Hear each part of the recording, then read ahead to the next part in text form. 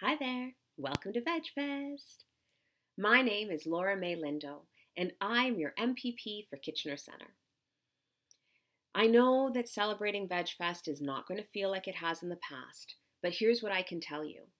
No matter what is happening as we navigate this pandemic together, we can still hold on to some of those little traditions that we have that help us feel more connected, loved, and cared for. And so I want to begin by letting you know that I'm making this video right here in my home in Kitchener Centre. And this land has been held down, cared for, loved, and stewarded by the Haudenosaunee, the Anishinaabe, and the Neutral people.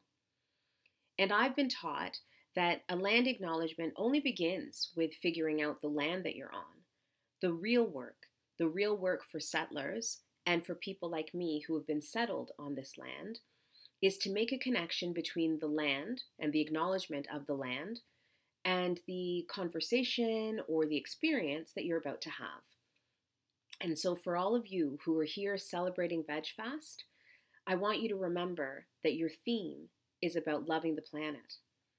And if there's one thing that we know as we've watched people rise, walk, march in solidarity to address anti Black racism and anti Indigenous racism on this land in Kitchener Centre and across this province and across Turtle Island.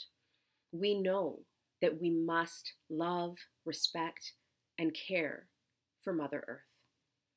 And so I want to tell you it may be difficult as you navigate the pandemic.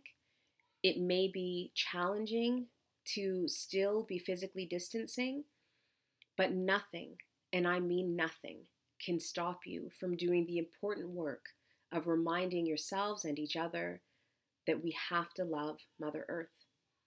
And as we protect her, she will protect us. And for that, I am so very grateful. Happy Veg Fest!